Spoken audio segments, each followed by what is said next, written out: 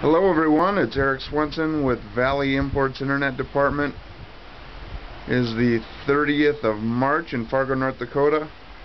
And amongst all the flooding, we were supposed to get about a foot of snow or more. I just thought I'd let you all take a good look.